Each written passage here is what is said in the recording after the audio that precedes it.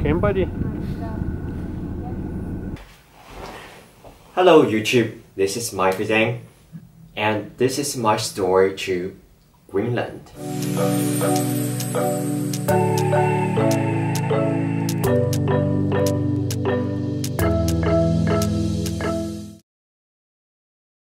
So right now I'm in my hotel at Copenhagen Airport, and to get to Greenland, I had to come to Denmark first and do the corona test here in Denmark. The results would be directly sent to Air Greenland. So I guess we'll have to wait and see. I'm inside the terminal now. I'm checking to my flight. So far, they checked all the documents. Uh, they checked the test result. They didn't ask any questions, so I guess that's a good thing. And now, on my way to Greenland. The flight from Copenhagen to Greenland took about four and a half hours. It was a very pleasant experience, starting with Air Greenland's unique and intriguing safety demonstration videos.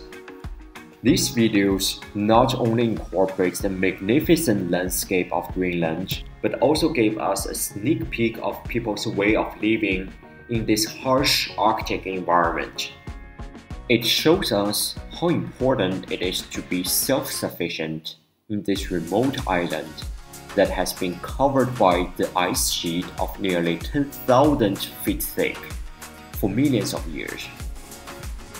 With a clear sky over the northern Atlantic Ocean, we flew over the land of fire and ice, Iceland.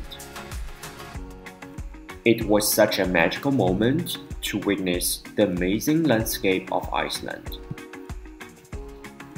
Starting from the eastern fjords, over the glacier covered mountain peaks in the highlands, and finally, the west coast and the capital region. Little did I know, in just a short while, I would be completely overwhelmed by my very first impressions of the destination. Greenland.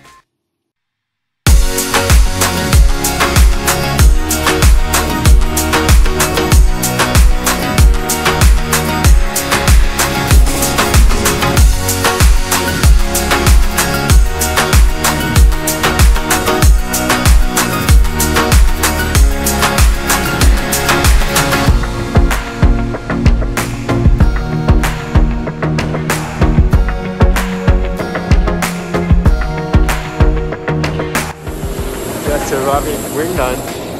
Kinda chilling. Minus one, but it's sunny. I just arrived at the hotel room. It's literally inside the terminal building. Well, it's a pretty simple room, but the view here is the airport. I have a tour booked to the ice cap in about one and a half hours. And uh, I guess I'll just chill a little bit, walk outside, check out the area before going to a tour.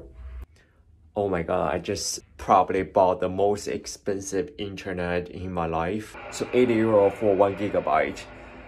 It's really, really expensive. I'm in Greenland, still finding out about the airport area but uh, you can see there's actually snow everywhere. Not everywhere but uh, it's snowed I'm right in front of the glacier river. Just a couple of minutes off the main road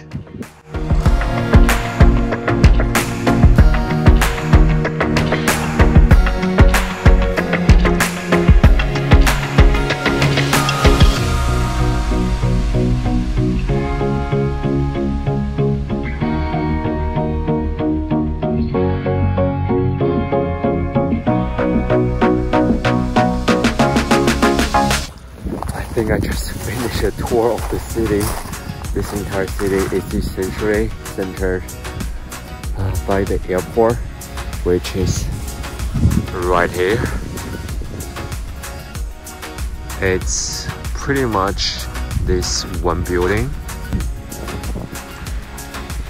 I think somewhere up here is my hotel room. There are more lodging options here.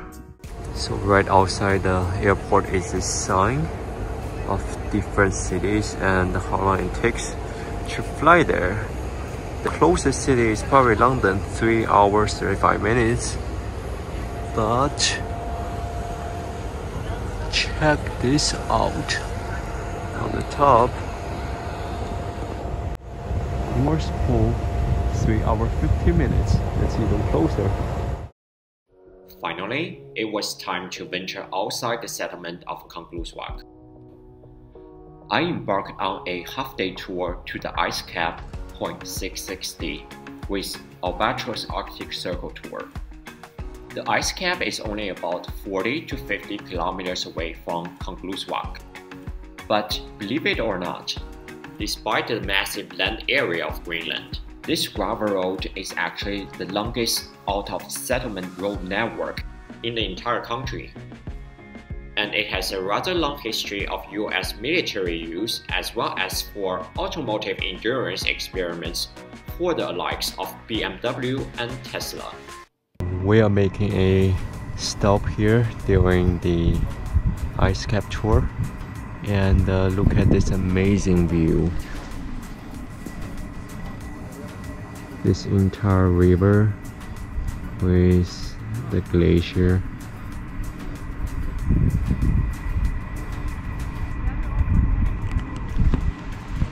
so far.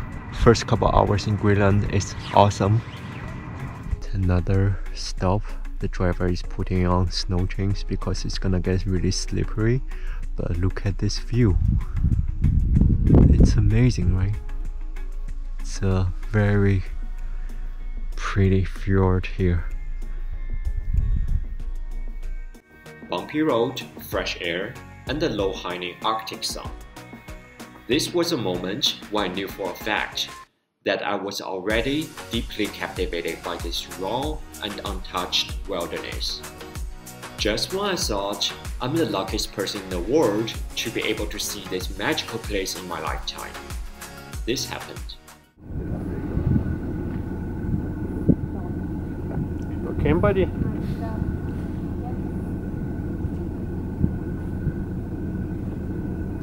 De er ikke helt enige, må jeg sige. De slås. To unge tyre. Det er to unge tyre. Finally, point 660. It's time to get outside, layer up, and take a walk on the second largest body of ice in the entire world, only after Antarctica. Even though it might look like snow, but in fact, we were standing on top of a massive layer of ice that's about 2 kilometers deep. Can you believe they used to do car performance testings in extreme conditions 120 kilometers inside the ice cap? walking on the ice cap it's kind of slippery but look around